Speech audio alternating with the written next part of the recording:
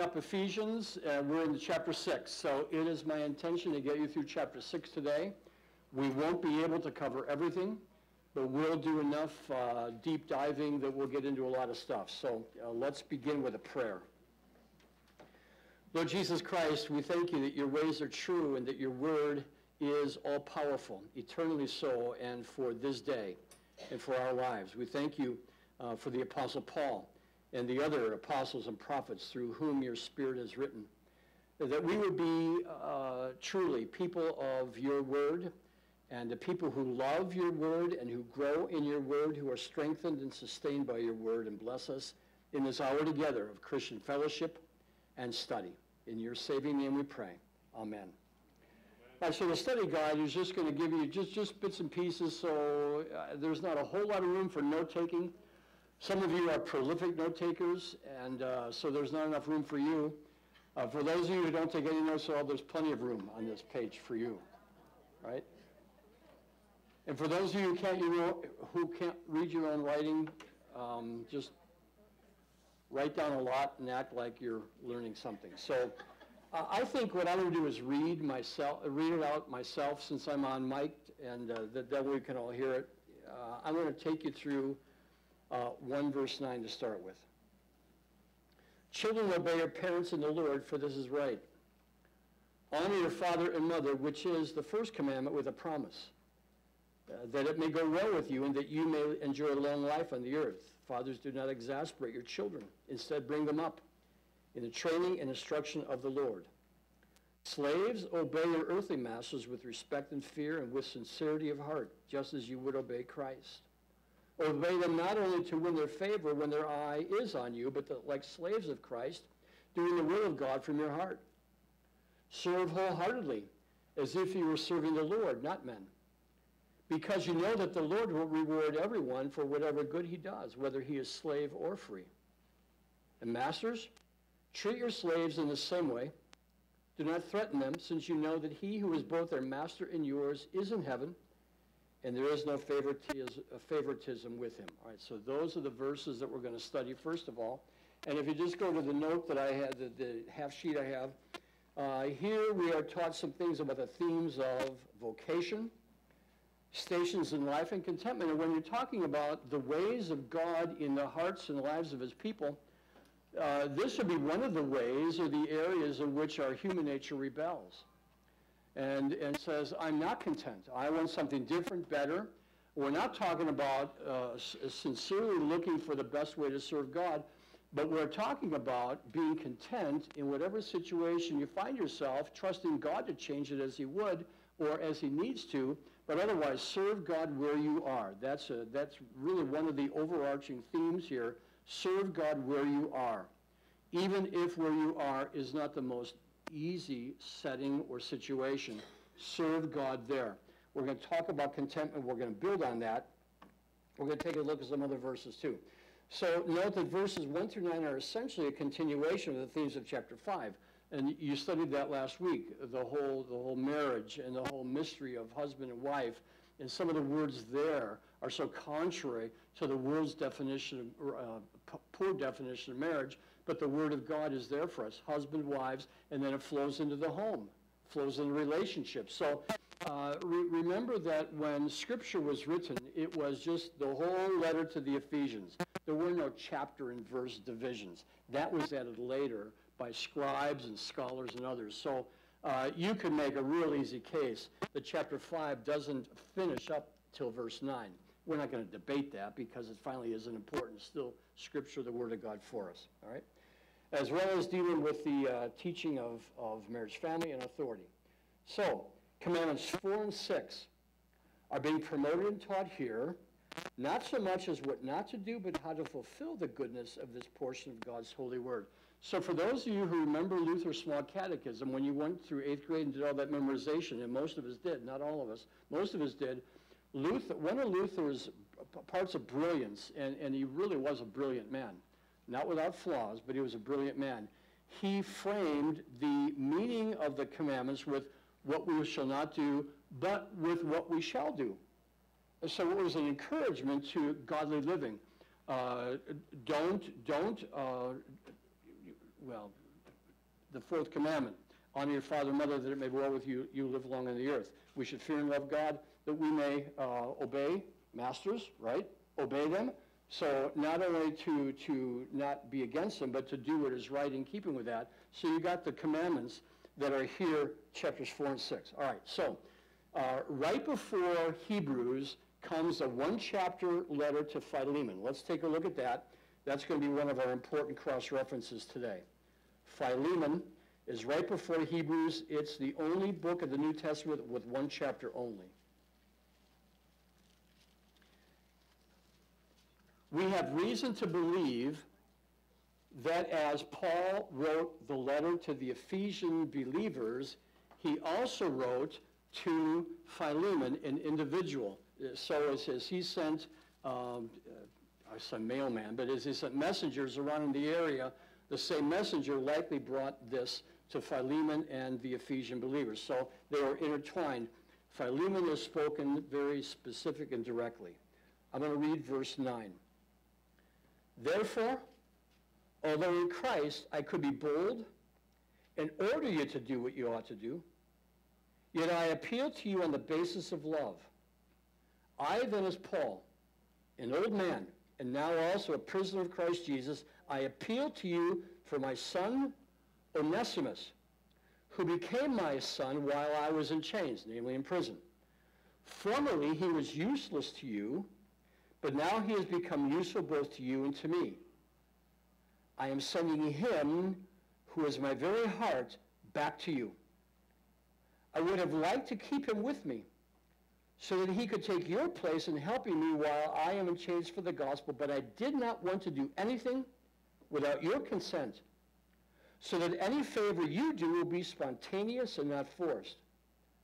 Perhaps the reason he was separated from you for a little while was that you might have him back for good, no longer as a slave, but better than a slave, as a dear brother.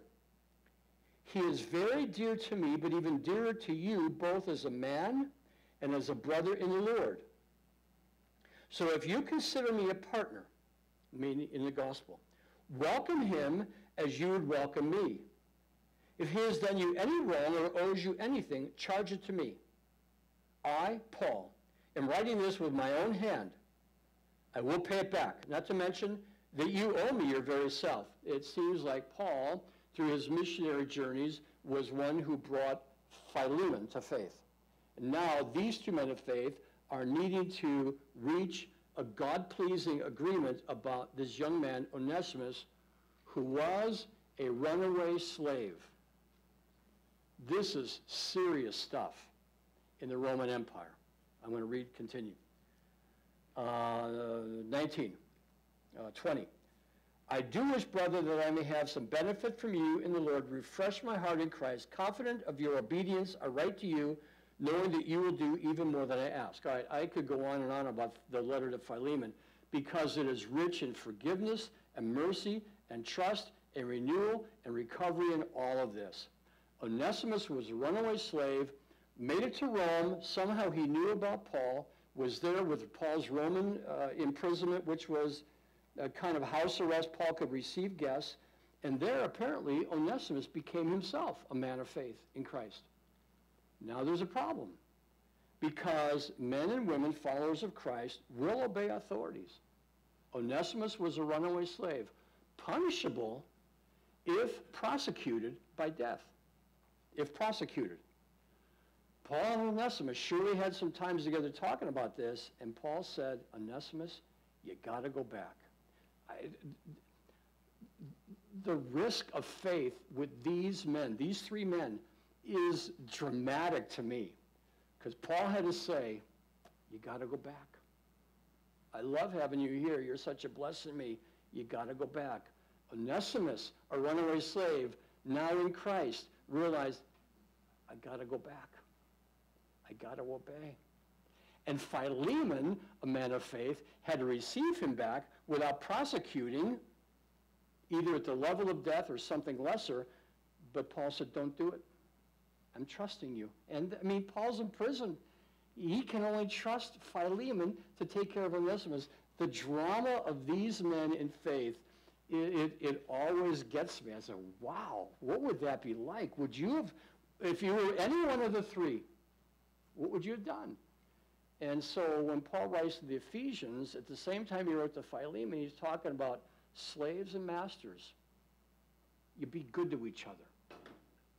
Be good to each other. Treat each other well in the name of Christ. Now, how does that relate to us today? I think employer and employee relate to each other well for the sake of Christ.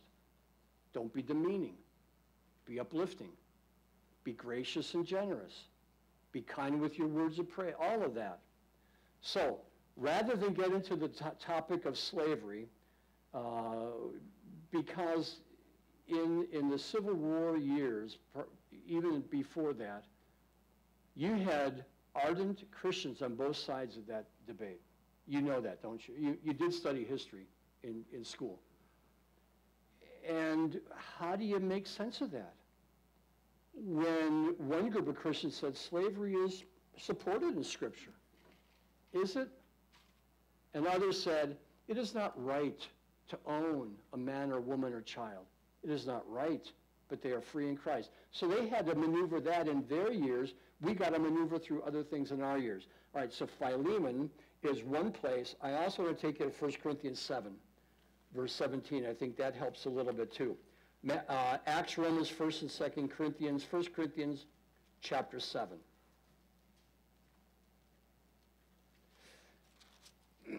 and uh, 17 through 24.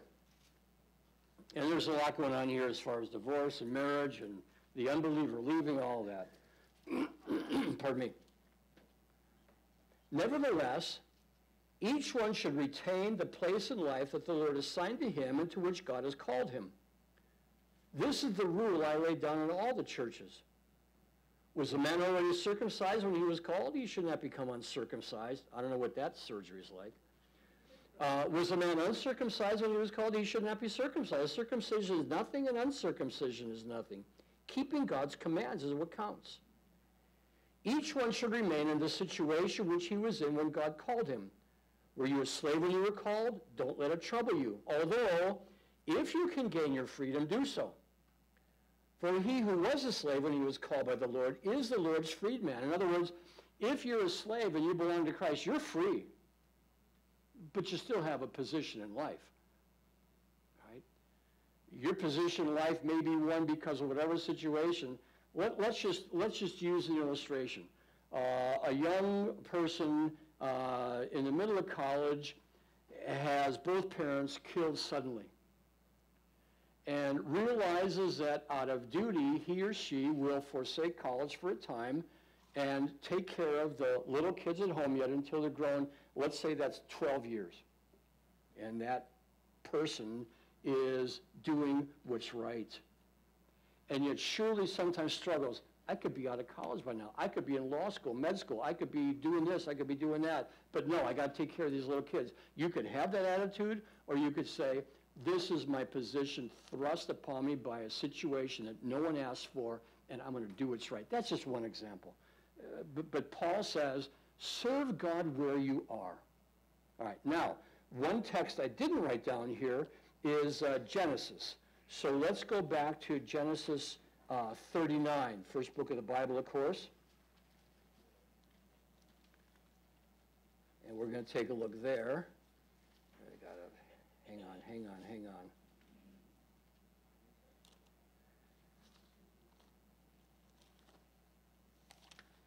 I think I want the very first half of that.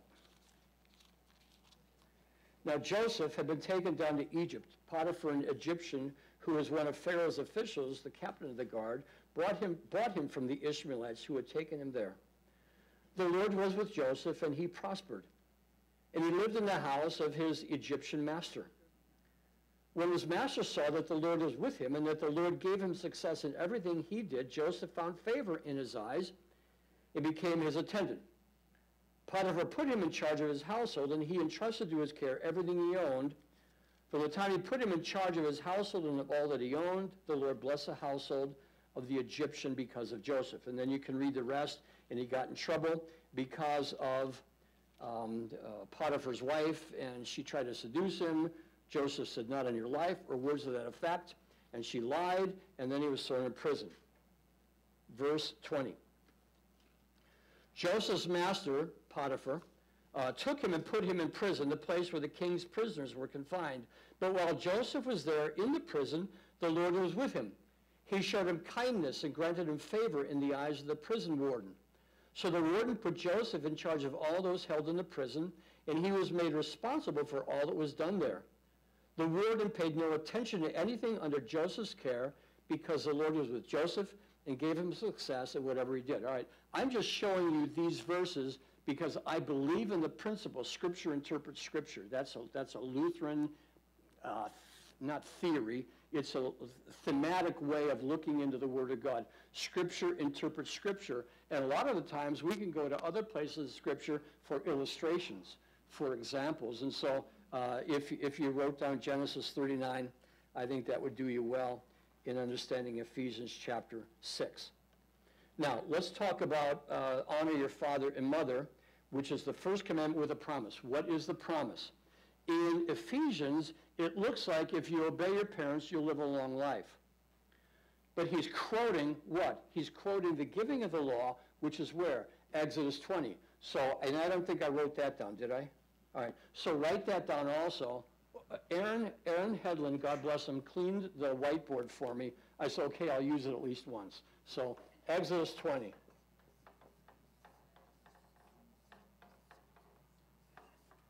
There, that'll make him happy. So let's turn to Exodus 20.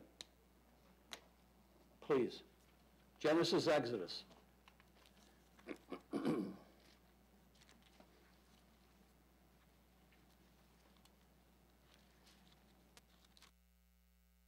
All right, what have we had so far?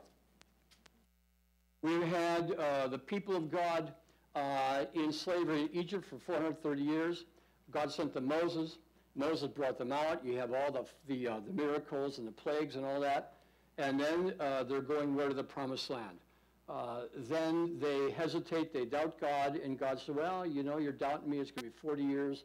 All that is in Genesis and Exodus. Well, Exodus primarily, but you got it here, okay? Then you get to the giving of the law once they're on the way to the promised land. Verse 5. You shall not bow down to them or worship them, for I, the Lord your God, am a jealous God, punishing the children for the sin of your fathers, to the third and fourth generation of those who hate me, but showing love to a thousand generations of those who love me and keep my commandments. That will help you watch the news and know history. Verse 12. Honor your father and your mother, so that you, plural, may live long in the land the Lord your God has given you. It is a promise to them as a nation. It is not a promise to the individual. It is a promise to the nation. Honor your father and mother. I'm going to tell you how important that commandment is. Based on this, you're going to have a prosperous and long standing life for generation upon generations in the land which I've given you. Okay, that's been broken millions of times. But when we get to Ephesians chapter 6 and we read that, you'll live a long life. We say, well, that means if a kid dies at 11, he must have been naughty his whole, he must have, maybe God's punishing him. No, the promise is not for the individual.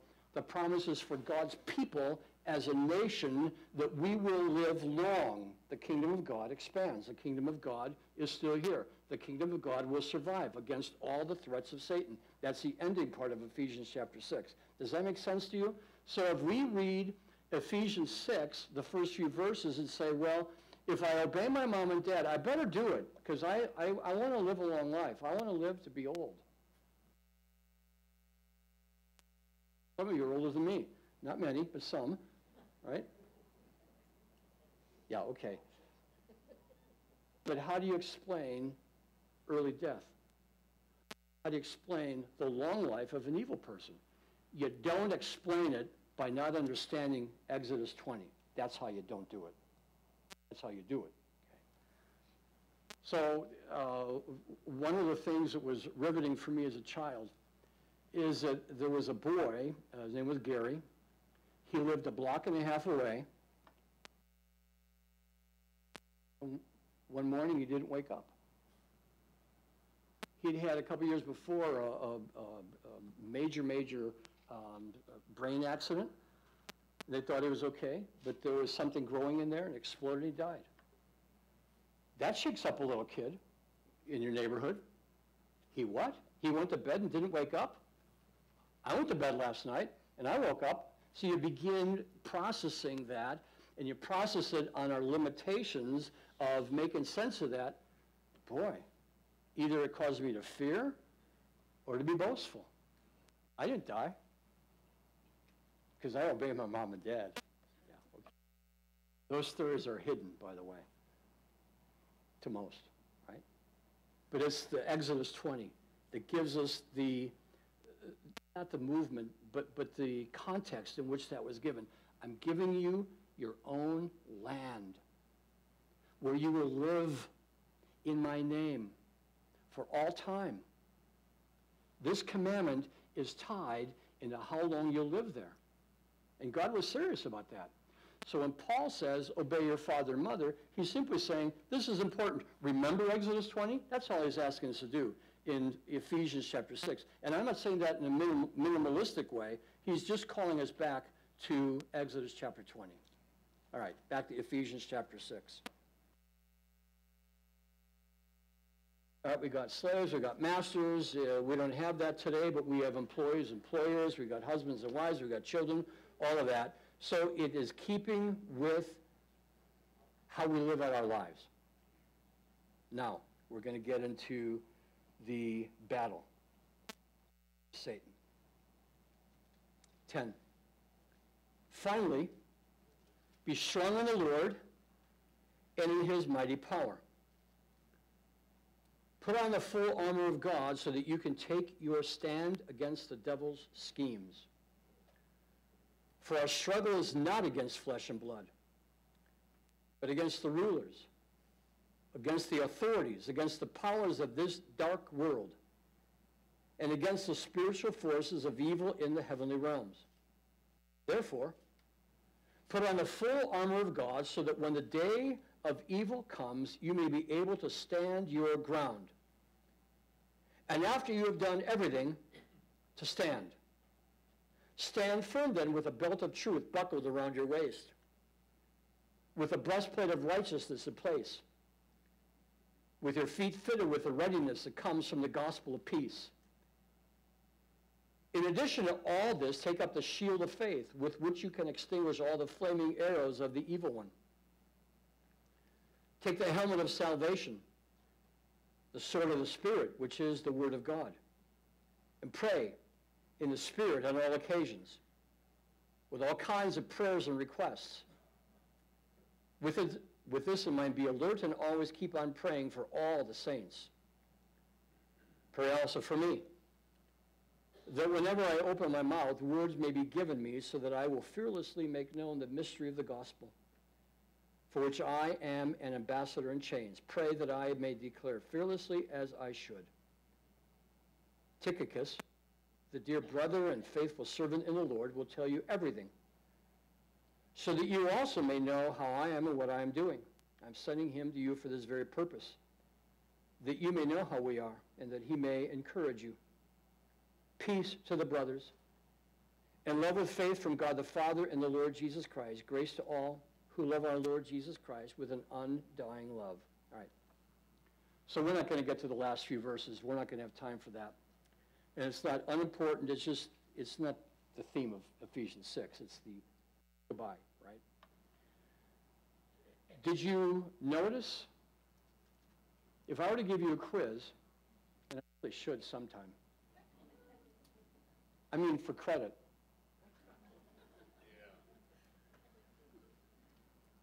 I would ask you, what two things are we to be doing in those verses?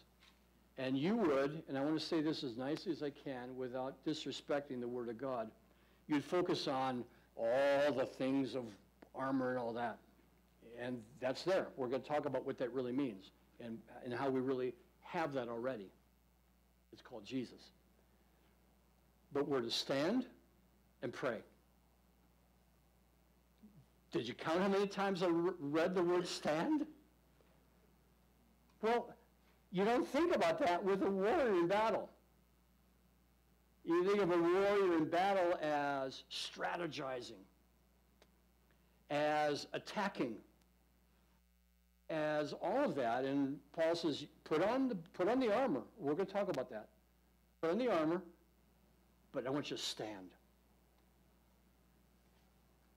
Immovable. And we are immovable in Christ.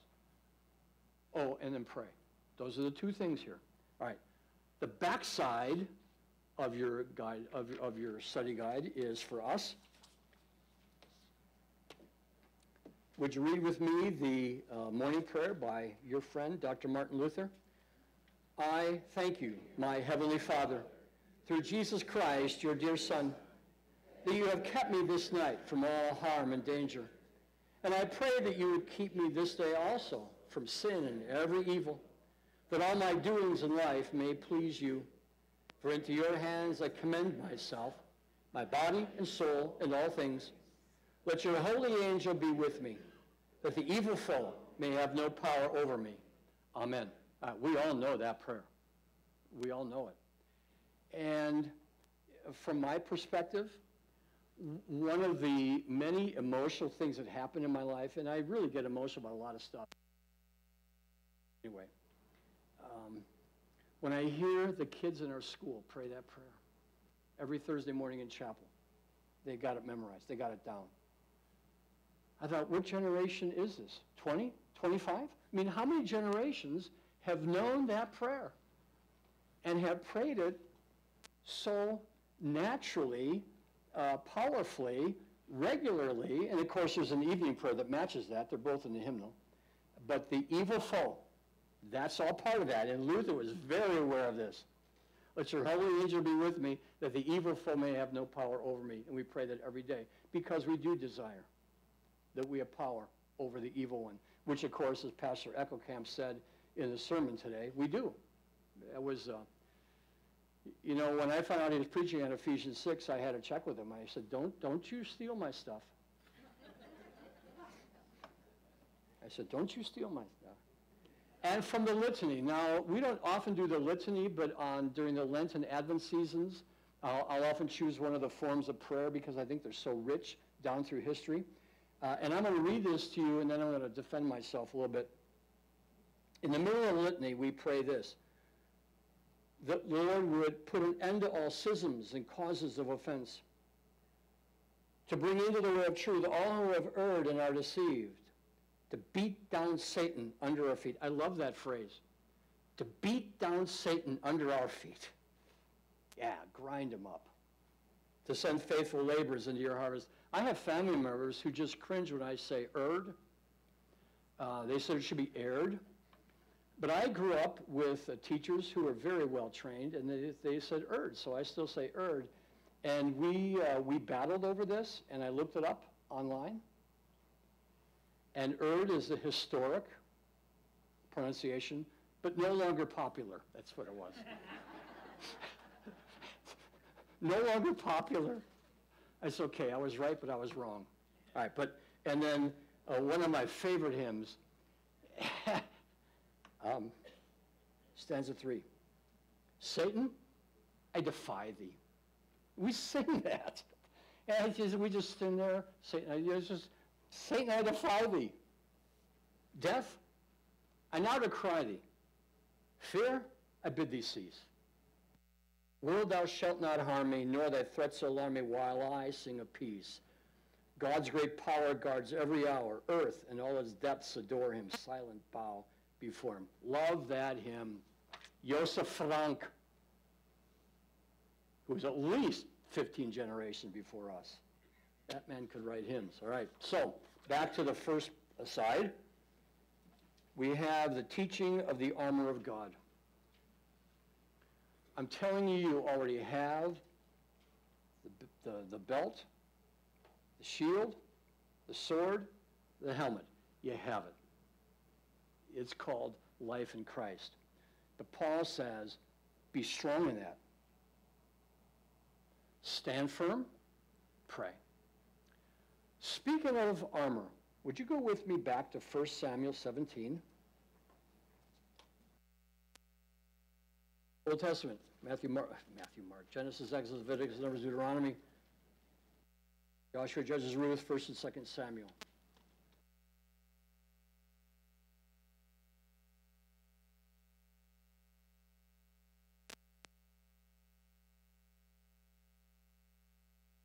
Verse 32. David, the shepherd boy, said of Saul, the king who is over his head in duties. I'm sorry, 1 Samuel 17, verse 32. I'm sorry. Pardon me. Verse 32. Oops. David said to Saul, Let no one lose heart on account of this Philistine, meaning Goliath. Your servant will go and fight him. Saul replied, you're not, able, you're not able to go out against this Philistine and fight him. You're only a boy. And he has been a fighting man from his youth. Scholars put David about 16 or 17 at this time. But David said to Saul, Listen, I added that word. Your servant had been keeping his father's sheep. When a lion or a bear came and carried off a sheep from the flock, I went after it, struck it, and rescued the sheep from its mouth. When it turned on me, I seized it by its hair, struck it, and killed it. Your servant has killed both the lion and the bear. This uncircumcised Philistine will be like one of them, because he has defied the armies of the living God. The Lord who delivered me from the paw of the lion and the paw of the bear will deliver me from the hand of this Philistine. That's faith in the living God. That's David's armor. Would you agree with me? Yes. That's David's armor. Saul said to David, all right, I added that word. Go and the Lord be with you. I don't know if Saul's overly confident, but nobody else is going to fight the Philistine. None of his mighty men. No, we're not going out. David said, I'll take him. This is, well, we know this story, this narrative. 38. Then Saul dressed David in his own tunic he put a coat of armor on him and a bronze helmet on his head. David fastened on his sword over the tunic and tried walking around because he was not used to them. I cannot go in these, he said to Saul, because I'm not used to them. So he took them off. Then he took a staff in his hand, chose five smooth stones from the stream, put them in the pouch of his shepherd's bag, and with a sling in his hand, approached the Philistine. Meanwhile, the Philistine with a shield bearer in front of him kept coming closer to David. He looked David over and saw that he was only a boy. Ruddy and handsome. Ruddy probably means red-headed, but let's not get lost in that one. And he despised him. He said to David, Am I a dog? You come at me with sticks? And the Philistine cursed David by his God, small g. Come here, he said and I'll give your flesh to the birds of the air and the beasts of the field. David said to the Philistine, You come against me with sword and spear and javelin. It's true. But I come against you in the name of the Lord Almighty, the God of the armies of Israel, whom you have defied.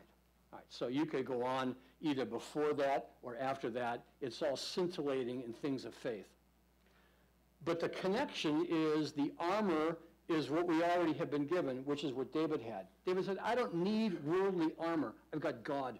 I've got the truth of God. I've got the power of the only true eternal God. I'm good. That's how we live. I'm good.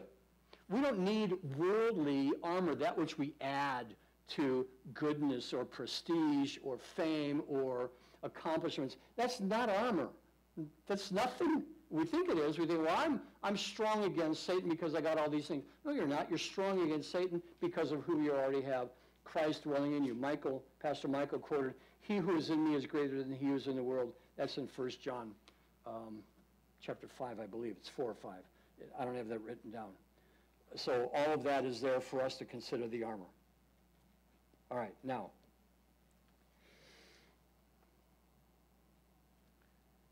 All right, I've got some things for us to look at. Uh, Matthew 6:13. Matthew 6:13.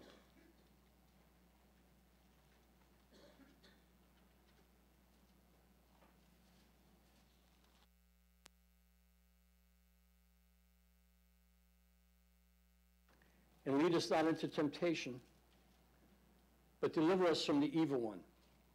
Why am I bringing that up? Because Jesus, early on in his ministry, identifies that is our daily prayer. We pray it in English against evil, deliver us from evil. Jesus said, the evil one. That lying bastard, Satan. Using the words of Jay Brinkmeyer, who spent three years in Haiti. So there are no children present, so I can, I can say that. That lying bastard, Satan. That's what Jay Brinkmeyer calls him, okay? Jesus said, deliver me. Right, so we have that taught by Jesus himself. Uh, I'm going to write down another thing, just, uh, and this is only, we may not get to it. I, I want to show you uh, Song of Solomon.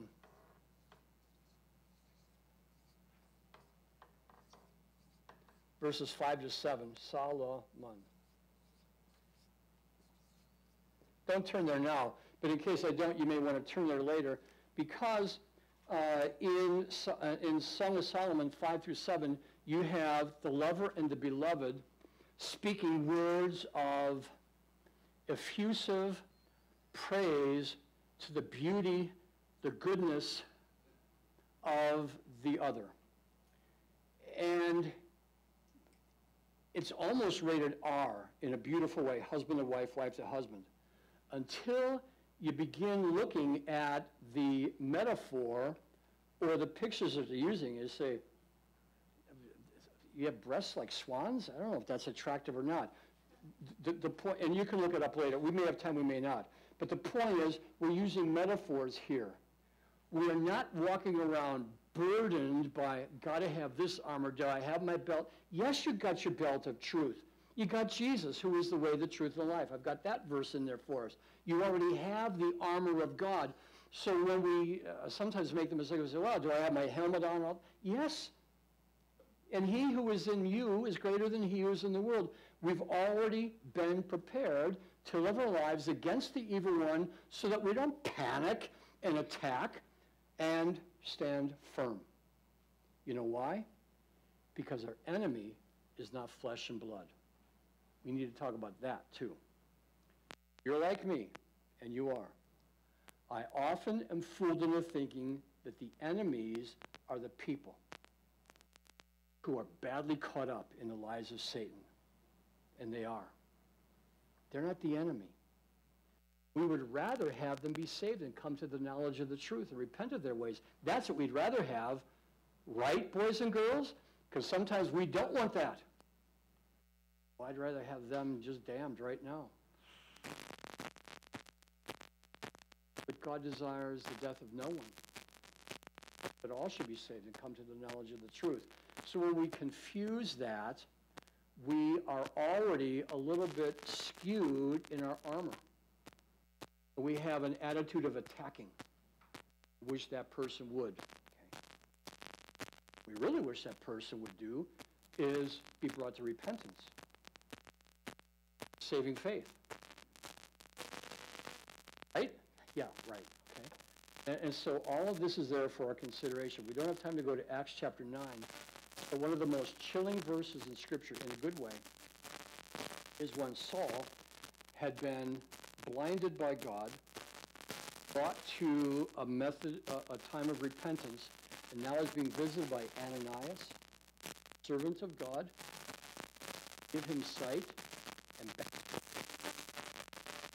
I mean, that's out of this world expectation of a man. Because Paul had come, Saul, Paul, same name, had come to Damascus to kill us, people like you and me. Ananias. Ananias went to the upper room and said what? Brother Saul. That's chilling to me. could you do that? Could you, you? You could. When you stand firm in Christ. You're not attacking. You're not despising. You're not slashing. You're standing firm. I got Jesus. And praying, those two things. Standing with all the armor that we have in Christ and praying. All right, I'm getting preachy. Uh, tables number one, two, and three. That's you. 2 Corinthians 11, verse 14. Back two tables. John 1. You know, what do I want in John 1? Uh, truth, light of Jesus, all right? These three right here. John 8, you'll find it. These three. What do I have next? John 14, you'll find it. And those three tables, 1 Peter 5. And uh, we'll do Genesis 3, Matthew 16 together later. So I'm going to give you about two or three minutes to find the text. I'm, I'm, I gave one of the verses. The others I just gave the chapters. So scout it out, figure it out as far as the truth of Jesus and the reality of the demonic and what we need to learn from that. And if you can't figure it out, I'll tell you.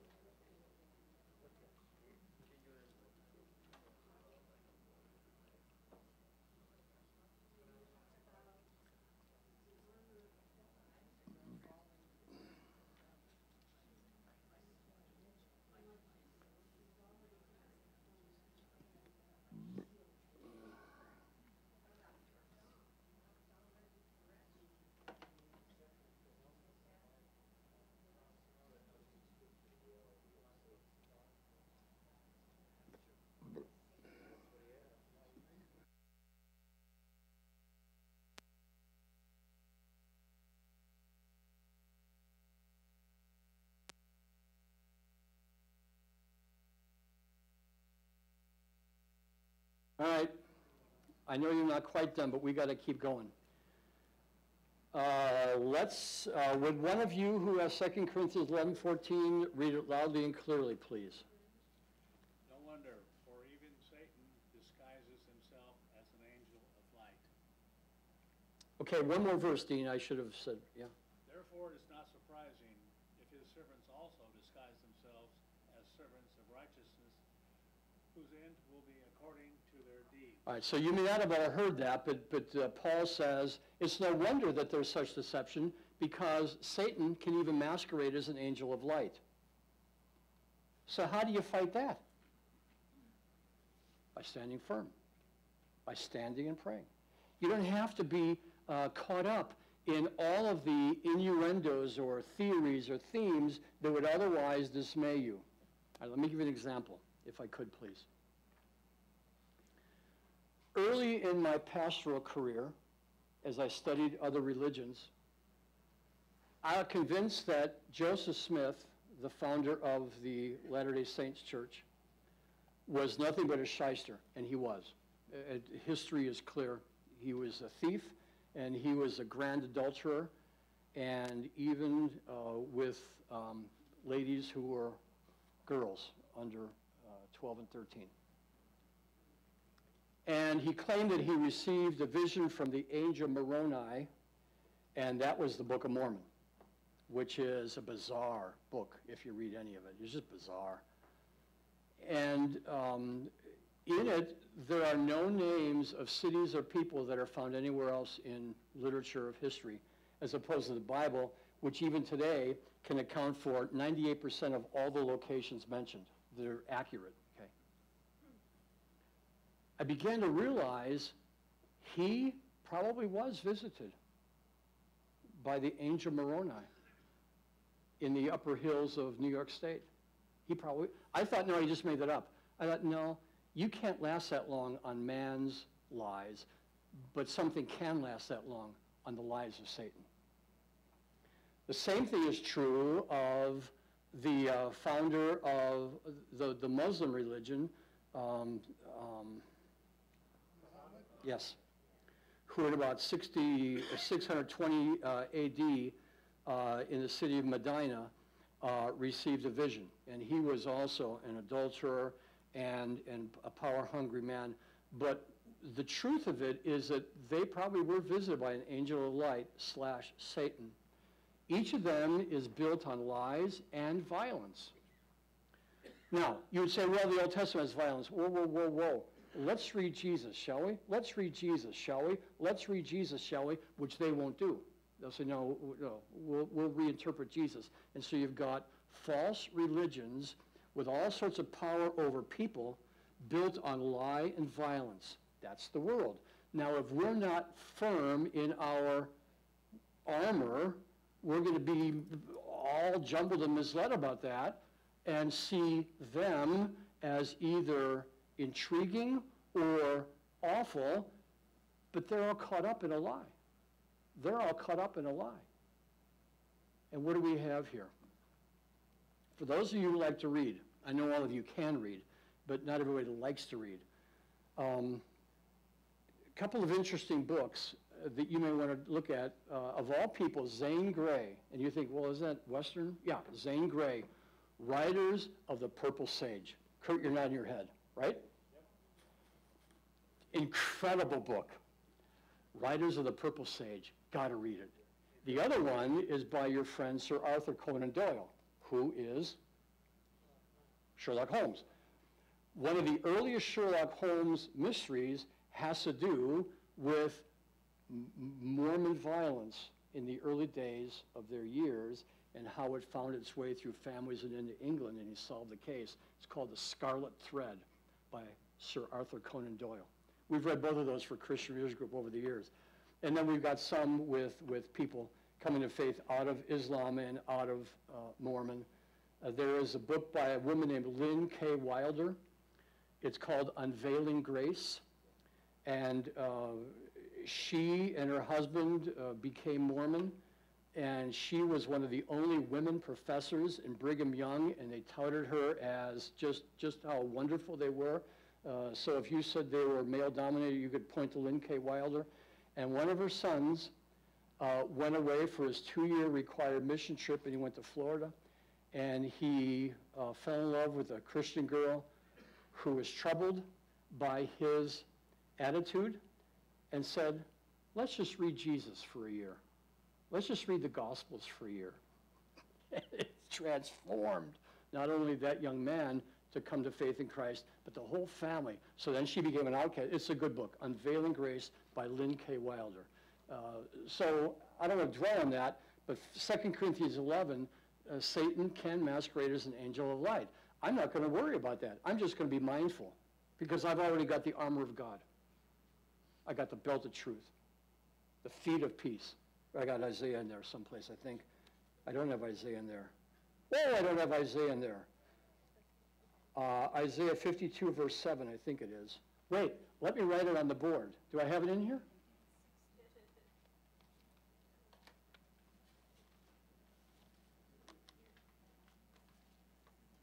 I'm all upset.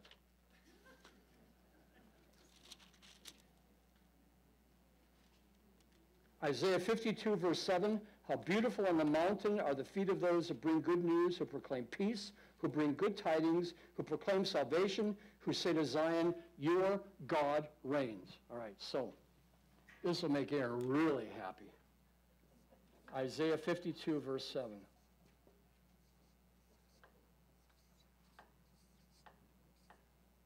Okay.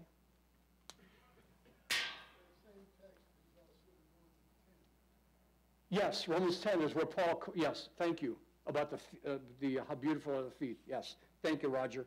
All right, so what did we find in John 1? Who's my John 1 tables? All right, what'd you find out?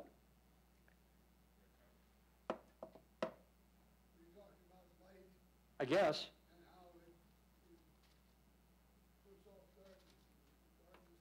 Yes, early on is John 1, verse 5, the darkness cannot overcome the light, yes? I think I'm looking at verse 17 or 18, right? Uh, 16, 17, 18? Full of grace and truth. Thank you. Laura, can you read it?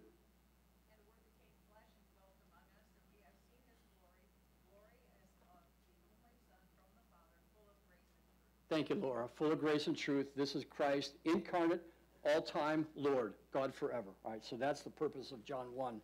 And John 8, what did we discover there? Christ is the light of the Christ is the light of the world. world. And the situation there was with people who opposed him, right? He also said something about the devil in John 8. You are your father, the devil. You And? are of your father. Keep reading. Oh, I'm just, the heading there, okay. Oh, Because, but because I tell the truth, you do not believe me. Which one of you convicts me of sin? I tell you the truth. Why do you not believe me? Whoever is of God hears the word of God. The reason why you do not hear them is that you are not of God. Yeah, you are of your father the devil. He was a liar and a murderer from the beginning. Right, so that's why John 8 is important. Uh, John 14. Anybody have a few verses there that are helpful for this? Margie? Well, in six, it says, no one comes to the Father except through me. And then if you go back to like twenty-five, but the counselor or the Holy Spirit whom the Father will send in my name will teach you all things. And as you go down a little bit further, it talks about, uh, the devil is coming, the prince of the world is coming. Yeah, but he's defeated. Thank you. He's defeated. I'm looking at the verse in chapter 14 where Thomas says, Lord, we don't know where you're going. How can we know the way? And what did Jesus say? I am the way, the truth, and the life. So that the, the word truth there is what connects us to the armor of God. The truth. Truth, peace. Those are words that are found in with the helmet. All right? Uh, let's see. Uh, 1 Peter 5. Sober-minded, be watchful, your adversary, the devil, prowls around like a roaring lion, seeking someone to devour. Resist him, firm in your faith. Thank you, Dallas. Resist him. Don't attack, just resist. You got Jesus, right? There's that, we're strong in Christ. That's what we are. All of these verses are, are showing that. All right, let's turn to, um, well, you know Genesis 3 and, and how Satan lied uh, to Eve and then Adam, and you know that whole thing, and how God immediately promised that Satan would be crushed. All right, let's go to Matthew 16 together, shall we? Yes, we shall. Matthew 16. I think I'm actually preaching on this text next Sunday. I think. I'll let you know Sunday, all right? But it's, it's one of my texts in the next four or five weeks, I- but I think this is coming Sunday. All right, so uh, I'm going to begin at verse 13. When Jesus came to the region of Caesarea Philippi, he asked his disciples, Who do people say the Son of Man is? They replied, Some say John the Baptist, others say Elijah, and still others Jeremiah or one of the prophets. But what about you, he asked. Who do you say I am? Simon Peter answered, You are the Christ, the Son of the living God. Jesus replied, Blessed are you, Simon, son of Jonah, for this was not revealed to you by man, but by my Father in heaven. And I tell you that you are Peter, and on this rock, meaning his faith, not Peter, the faith, I will build my church, and the gates of Hades will not overcome it. Okay? We're standing firm. The gates of hell, that's the force that attacks. We don't attack. We stand firm and resolute and confident in Christ, who has already defeated the enemy. I give, I'll give you the keys of the kingdom of heaven. Whatever you bind on earth will be bound in heaven. And whatever you loose on earth will be loosed in heaven. Of course, that, that theme is repeated elsewhere. That's the office of the keys. Don't have time for that now. But the, the, the visual here is that the strength we have of our place in Christ, our saving faith, we don't have to be attacking because we'd be hurting people who are not the enemy. And the one who is the enemy is defeated? So we're not contending against flesh and blood. Boy, we think we are. we're not contending against them. We'd rather have them be saved. We'd rather love them if we could. We'd rather feed them when they're hungry. We'd rather uh, have conversations with them when they're able. They're not our enemy. Satan is. Now I'm af- no, don't be afraid of Satan. He's defeated. Right? We have that, the certainty of Christ. So those are the things that I think we have. And finally, the one verse I don't have for you here is Hebrews chapter 4. I do not know why I don't write down Hebrews chapter 4. It's right after Philemon. Come on, people, that was funny.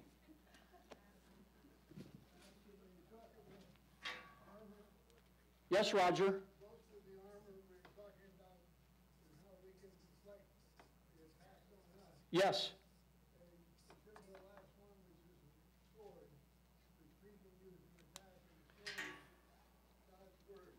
Yeah, we're going to read that in just a little bit, yes. But the sword is still not necessarily for attack, it's also for defense.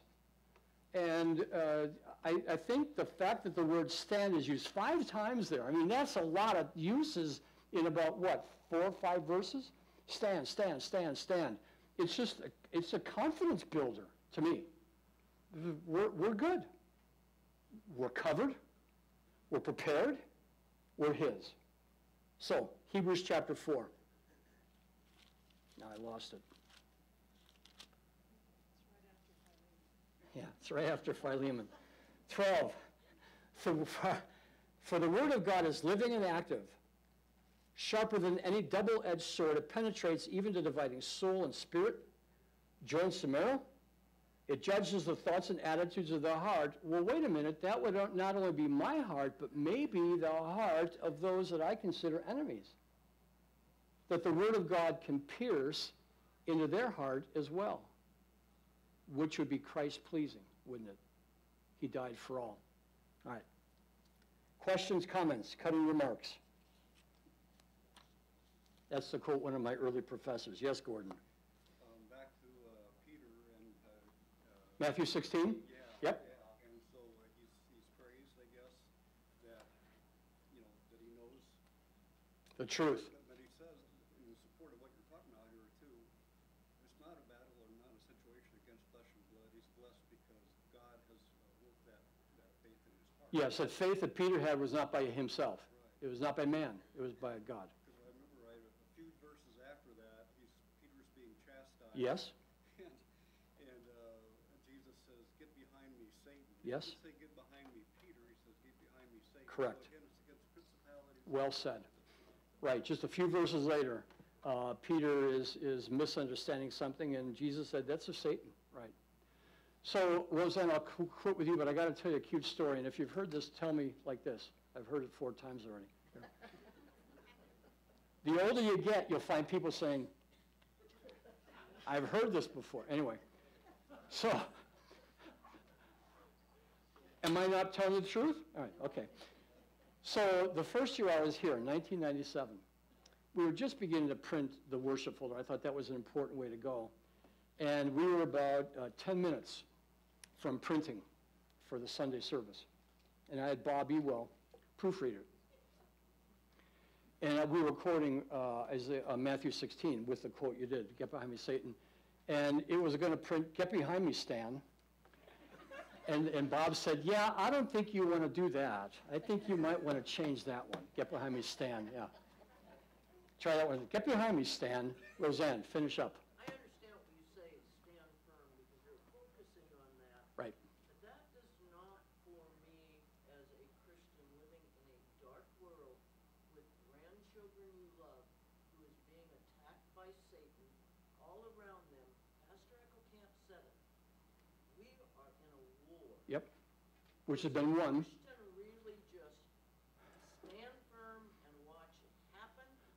Or does the Holy Spirit take us with God's truth into a battle where we are active and not just standing? I would say you're not disagreeing with me, and I'm not disagreeing with you, but we're not attacking the people. But we are Be- because the we- evil in people. But, uh, we're, we're speaking truth, but we're not hoping to hurt them. We're, we're hoping to bring about a changed heart. a changed policy, a changed philosophy, whatever. So I don't think standing firm means we do nothing. I, I think standing firm is, I'm not going to attack. As God leads me into situations, that's where I'll love and, and speak truth, but keeping in mind that my, our battle is not against flesh and blood. And I think we are really confused about that. I am. Because sometimes I can get livid with people. This is an awful person.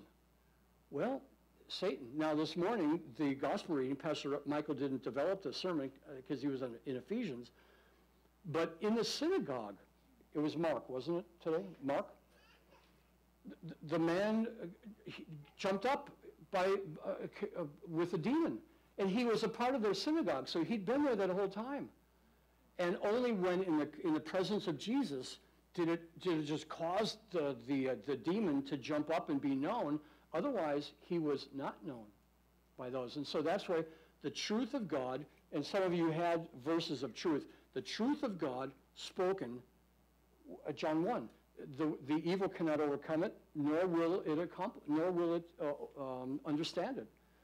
But, but the truth will reveal all that is evil in, in God's timing. So I would say we're not disagreeing, but we don't go after people as the enemy. We say, "I'll- I'm going to speak the truth here. It's my belt. And I know I'm protected. Now, they may attack you and hate you and cast you out, but you're not harmed because you're still Christ's. Gene, then we're done. I, I take, take this as a, as something, uh, that I'm kind of up against at this point. Uh, it has to do with an advertisement for, a, a, um, the services that the shop gives. And the message on the board was vulgar Yeah. and, uh, anyway, reference to Christmas Yeah. with Christ taken out and another word inserted that mocks it. Yeah. And I, I, I don't think it's short of blasphemy. But I have a connection with the shop in, in other words, I, I, I'm on friendly terms with the people there. Yeah. And my challenge is, how do I do in fact stand firm and go forward? You can't, I don't see it as a standing firm, it's standing firm and say, well, they're gonna do that, that's all right, let them go, they're not gonna bother. That I would not say is standing firm. You're not doing anything, but you're standing, okay? But I'm saying I need to be in there, uh, approaching those people or that person particularly, uh. But you won't be attacking. But you won't be attacking. No, you won't be attacking.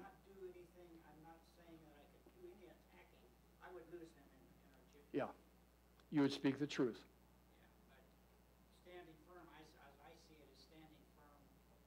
Yeah, I, probably was misunderstood with the standing firm. I, what I mean is we're not attacking. And, and uh, you know, that, that, that's why the references to war uh, in some hymnody over the years is, in my mind, a little bit misplaced because the war is against us. But it's been won by Christ. So we can talk with confidence, oh, have no fear, little flock, right? Or little flock, fear not the foe. Those are some of our hymns. Um, because we, we live in a world to make a difference. And our presence does make a difference. It's like Joseph in Genesis 39. His presence, a man of faith, made a difference uh, because Joseph served God faithfully. So I would not say that we're not to speak the truth. We certainly are, but not in an attacking mode or in a spiteful mode or hate-filled. And I think that's our temptation. It is for me. But we can still give certain people over to God and say, God, deal with them. Because if I do, it's going to mess both of us up. So, yeah, I got to, yeah, I got to quit. Hey, Gil, I got to quit. One more thing. If they're late for 11 o'clock church, it's on you. Go ahead. You know what, Pastor Ecclekemp, the, the, the, the word wrestle, um, I didn't really do too much with that word, um, but I, I, I- I forgot to tell you that, that in that section, uh, the word tyrant is used in the, in the original Greek, and the schemes of the devil is actually expert methods of the devil. You know, this is what I prepared today. So, um, yeah, I just, in my study, I couldn't get away from the word stand five times. Five times it's used there. Thought, okay, that's where I went. A lot of you have a lot more words to say to me right now, I can tell. I can just tell. I can just tell. But we got to quit. We got, we have to quit. All right, let's pray. Lord Jesus Christ, you are the way, the truth, and the life, and we have been made yours forever, so that in this world we are called to be living in freedom, in peace, in truth, and making a difference, not hating nor attacking, but loving, speaking, serving, and all of it to your glory. We pray it in your name. Amen. Whew. That was a tough one. You like that?